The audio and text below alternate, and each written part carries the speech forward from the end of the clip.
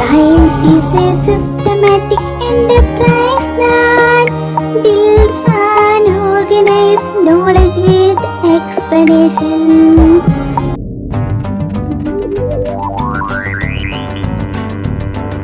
Science is a part of our everyday lives.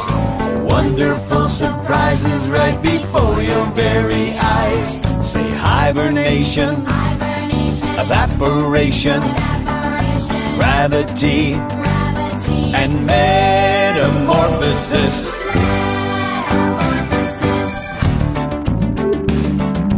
Hibernation is the way some animals keep warm all day in the cold winter months, like the bear in a cave. Birds fly south, and that's called migration. Hibernation, migration.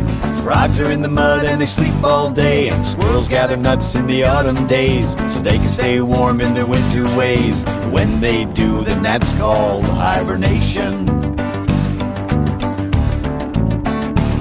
Say hibernation, evaporation, gravity, and metamorphosis.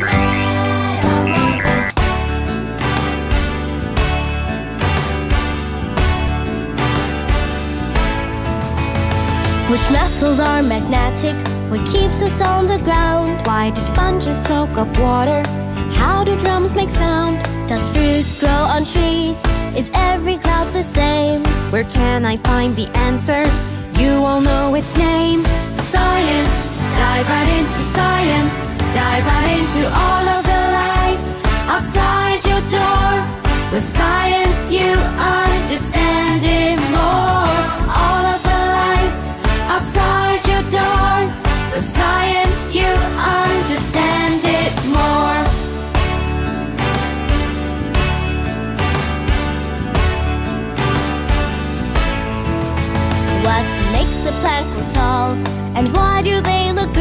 Why do blankets keep us warm? Could a blanket cook a bean?